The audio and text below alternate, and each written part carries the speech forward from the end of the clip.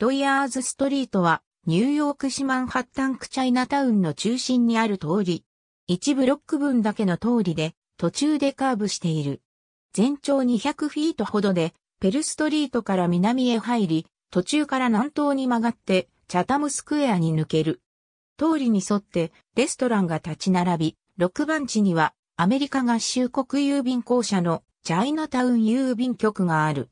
13番地の南花茶室は1927年から当地で営業を続けている。他にも18番地のティングスギフトショップなどが老舗として知られている。この通りはまた利用店や美容室でもよく知られている。1898年の絵はがきに描かれたドイヤーズストリート通りの名の由来となったヘンドリック・ドイヤーは18世紀のオランダからの移民で1791年にバワリーに面した土地を購入し、現在の郵便局の場所に蒸留酒製造所を設け、バワリーに面した角にプラウハローという酒場を開いた。1893年から1911年まで5から7番地には中国語専門の劇場があった。劇場の建物は後にバワリーのホームレスの人々の救援施設に転用されている。この劇場は1903年に起きたキシナウのユダヤ人虐殺の際に中国系住民たちが犠牲者たちのための義援金集めを行った場所であった。20世紀初めには中国系のギャングであるトングが構想を繰り返すことから通りの途中の角はザブラディアングルと呼ばれ、構想は1930年代まで続いた。構想では、ナタが武器として使われることも多く、ハチェットマンという表現を生み出すことになった。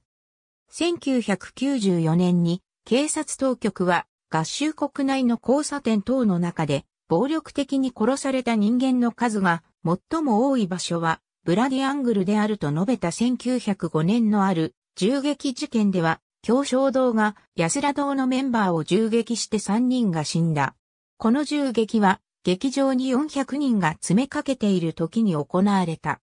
また、1909年のある銃撃事件では対立関係にあった4兄弟、別名シーシングトンのメンバーによって、安ら堂のメンバー2人が撃たれ、うち1人が死んだ。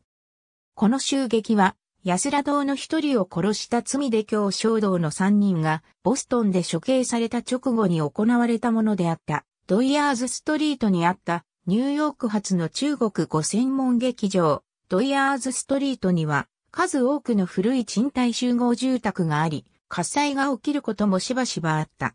1910年には15から17番地の建物が火災で全焼し、借家人たちから死者4人、負傷者5人が出た。1939年にもニューヨークタイムズ紙が昔のうさぎ小屋と表現した同じ建物で火災が発生し、死者7人、負傷者16人が出た。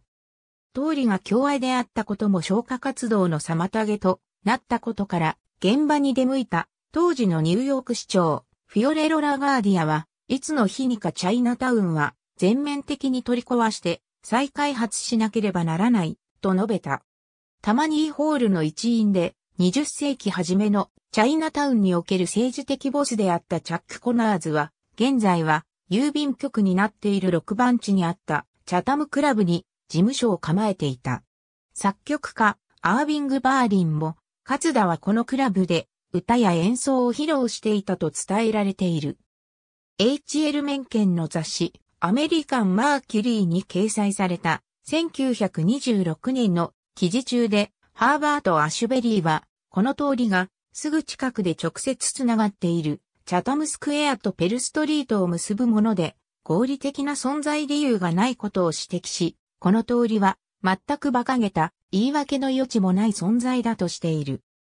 アシュベリーは中国語劇場とブラディアングルのあるドイヤーズストリートをチャイナタウンの中枢神経だと表現している2011年の時点で、この通りには利用店が立ち並んでおり、15から17番地には職業紹介所があって、あらゆる民族的背景の新規移民に仕事を斡旋している映画やテレビドラマのロケーション撮影に使用されることも多いと言われ、映画、16ブロックや彼が2度愛した S などにもこの通りのシーンがある。ありがとうございます。